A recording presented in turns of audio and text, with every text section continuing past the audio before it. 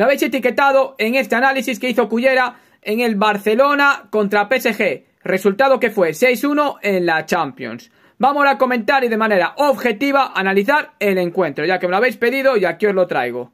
Silvido Final, tu árbitro de confianza. La primera fue esta, minuto 10 y el Barça ganando 1 a 0. Posibles manos de Mascherano dentro del área. Aquí tenéis posición muy natural me parece a mí. Se puede llegar a pitar, el árbitro está a 18 metros y la deja seguir. Muy justita.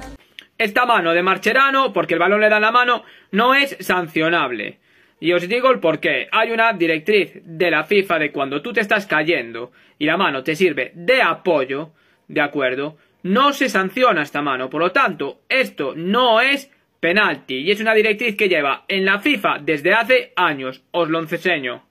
Aquí lo tenéis. Federación Española, al fin y al cabo, derivada de la FIFA y lo tenemos. Si la mano está apoyado, camino del apoyo, mano como herramienta de soporte para mantener el equilibrio si el jugador cae y la mano o el brazo queda entre el cuerpo y el punto de apoyo en el suelo, pero no alejados del cuerpo hacia un lado o en vertical.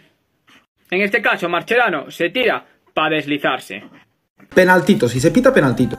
En el 42, posible segunda amarilla a Piqué. Cavani se iba solo, Piqué ya tenía amarilla y le hace falta para que no siga. El árbitro da la falta, pero no saca la segunda amarilla. Si os fijáis, Piqué no comete la falta de forma intencionada, pero lo que suponía de ocasión de peligro puede ser sancionado con amarilla.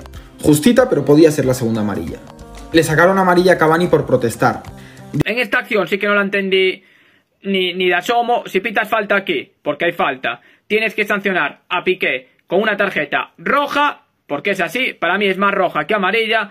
Piqué está en un lado de la banda, perfecto, pero Cavani es hombre que está solo.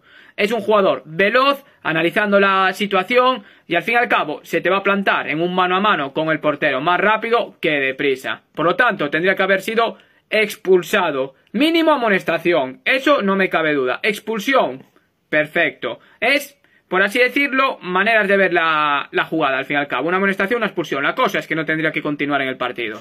Y aquí ya nos vamos con el partido 2 a 0, el penalti a Neymar. Creo que el jugador del PSG con su cabeza corta la opción de que Neymar juegue el balón. Es penalti, bueno, penaltito. Claro, si no das el penaltito de aquellas manos, porque sí das este penaltito? El árbitro que estaba más cerca al principio decía que se levantara. Y se fue a hablar con el asistente que estaba más lejos y entonces decidió pitarlo.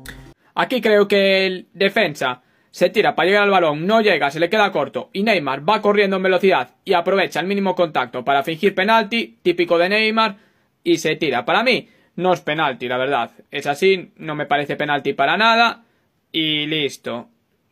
Tampoco hubiera sacado amarilla Neymar por simular, ¿eh? Las cosas como son. Existe contacto, sí, pero no me parece penalti. Roja directa por esta patada de Neymar a Marquinhos, yo creo que no.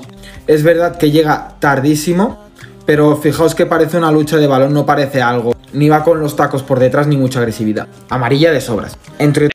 Este pisotón de Neymar no es tarjeta roja para nada, es una tarjeta amarilla y listo. Todo se remarca que Suárez buscaba continuamente el penalti y esto es cierto. Luego haremos el penalti a Suárez en los últimos minutos. Suárez está buscando la piscina. Ya con el 3 a 1, posibles manos de Piqué entre el área. Dos factores. Si se pita la mano de Piqué está separada del cuerpo, se está haciendo más grande con esta mano, por lo tanto, tendría que haber sido sancionado con tiro penal, ya que no es una posición natural. ¿Qué hablar de Luis Suárez con este piscinazo? No hay más, tarjeta amarilla por la piscina y listo, que no se salgan habitualmente, perfecto. Pero se la merecería por intentar engañar al árbitro. Penalti por estas manos, penalti. Otro penaltito. Fijaos este, este no es penalti para Di María ya ha chutado cuando Benzema le toca. El asistente lo puede ver, pero fijaos que cuando Mascherano toca, el balón ya está fuera. No afecta en el chute, ya ha disparado. Para mí este sí que no lo es. A ver. Y en esta acción estoy de acuerdo de que llega tarde, Marcherano, lo que tú quieras, y el tiro ya está efectuado, listo, podemos decir que es residual. ¿Por qué? Porque no va a cambiar el tiro de ir para un lado para otro. Si le da justo cuando tira, penalti, sin lugar a duda.